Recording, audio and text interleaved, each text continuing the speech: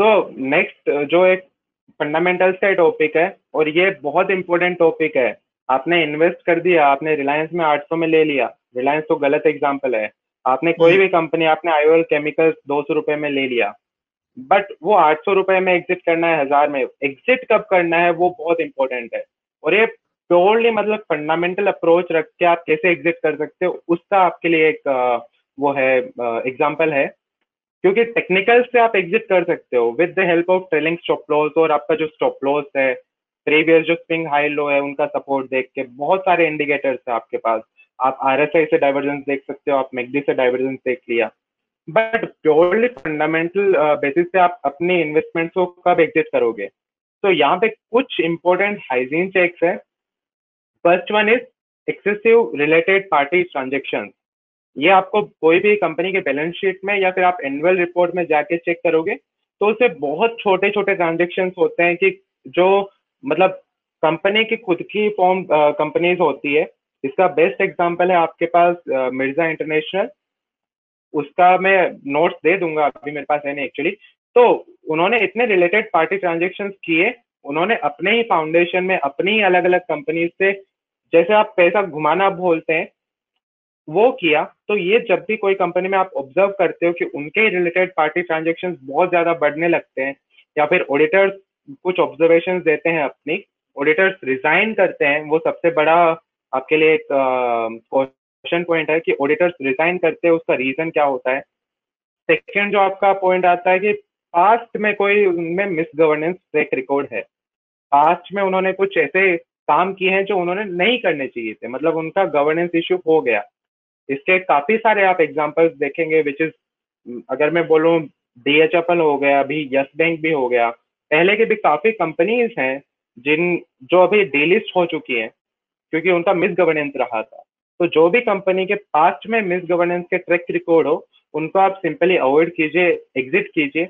आप अगर बाई भी कर लेते हो, गलती से बिकॉज़ गलतियाँ होती है इंसान से बट आप उनको एक सही समय पर एग्जिट कर दीजिए बिकॉज़ वो कंपनी के मैनेजमेंट ही उस हिसाब के होते हैं।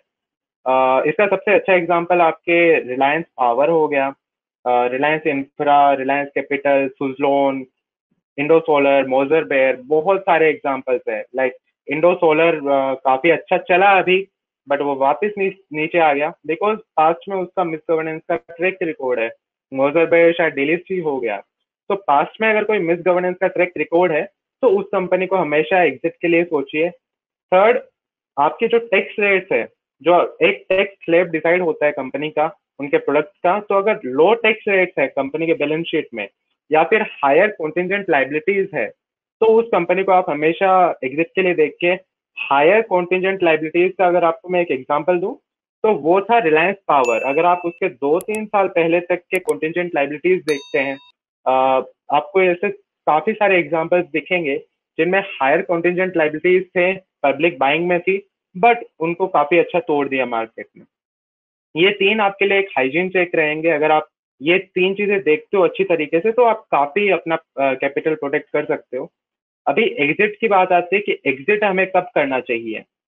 तो एग्जिट के तीन पैरामीटर्स हैं कि अगर रेवेन्यूज या प्रॉफिट्स में जो ग्रोथ होती है जैसे पिछले तीन साल में कंपनी ने कितना ग्रो किया या फिर पिछले पाँच साल में कंपनी ने कितना ग्रो किया एक कंपाउंडिंग गेन होती है।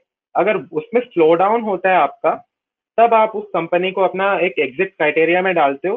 बट इससे भी एक बड़ा पॉइंट है कि जो हमने शुरू में रेशियोज देखे थे R O R O C return on equity and return on capital employed इनका भी एक एवरेज होता है कि पिछले तीन साल या पिछले पाँच साल के एवरेज से अगर नीचे आ जाते हैं आर और आर ओ सी रेशियोज तो वहाँ पे आपको थोड़ा सा एग्जिट करने का कोशिश करना चाहिए और थोड़ा इम्प्रूवमेंट का वेट करना चाहिए कंपनी के फंडामेंटल्स में। थर्ड और मोस्ट इम्पोर्टेंट अगर कोई कंपनी आपने साइक्लिकल ही चूज़ कर ली है, जिसका साइकिल ही एंड हो गया है, जहाँ पे कोई फ्यूचर ट्रिगर्स नहीं है कंपनी के लिए तो वहाँ पे आप अपने इन्वेस्टमेंट एग्जिट कर सकते हैं ऑन प्योरली फंडामेंटल बेसिस पर जो सबसे अच्छा टॉपिक रहेगा सबसे इम्पोर्टेंट जो आपका एक एग्जिट क्राइटेरिया रहेगा वो है आरओई और आर रेशियोज को आपको ट्रैक करना है। अगर आर ओ आर रेशियोज पिछले तीन या पाँच साल के एवरेज से नीचे आ जाते हैं तो फिर आप उस कंपनी को देखिए एग्जिट करने के लिए। तो ये इस पे अपना हम्म, इस पे मैं एक बात बोलना चाहूँगा ये आर ओ आर का अगर आप स्टैंडलोन रेशियो देखते हो ना तो उसमें हम्म। हमेशा एक प्रॉब्लम है। और ये प्रॉब्लम हमको हम्म। दिखी हमने स्टॉकेज में इस प्रॉब्लम को सॉल्व किया है। अगर आप एक बार हम्म। स्टॉकेज वेब में जाओ एक बार आप या एक बार रिलायंस रिलायंस आप देखो and go to ratio fundamentals में रेशियो में आप अगर आओगे जब हम्म, तो देखो आपको इसमें नज़र आएगा कि कंपनी की आरओई गिर गिर रही है ओके okay? Right right. जब आप हम्म। इसको न्यूमरेटर डिनोमिनेटर वाइज तोड़ोगे ना जैसे आपने किया तो आपको समझ में आएगा हम्म। कि कंपनी का कैपिटल बेस बढ़ रहा है क्योंकि रिलायंस ने बोरोइंग हम्म। काफ़ी की और रेवेन्यू अभी। स्टेटिक बिकॉज़ कैपिटल बेस बढ़ रहा है इसीलिए आर नीचे जा रहा है बट वो केपेक्स जो हम्म। अभी किया है उसका बेनिफिट आने वाले पाँच साल में आएगा जो कि रेवेन्यू में इम्पैक्ट नज़र आएगा तो स्टैंड right. आर आर अगर खाली एक नंबर देखेंगे तो ये सब जो। इंसाइट है ये मिस हो जाएगा इसीलिए हमने क्या डिनोमिनेटर और न्यूमिनेटर दोनों को दिखा दिया ताकि आपको पता। रहेगा कि ये.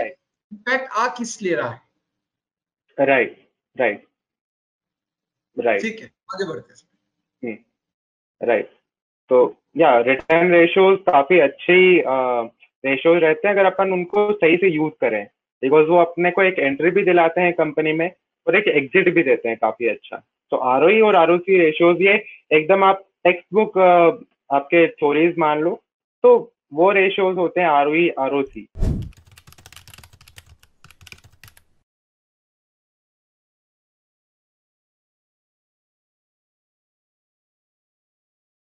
Investments in the securities market are subject to market risks. Read all the related documents carefully before investing.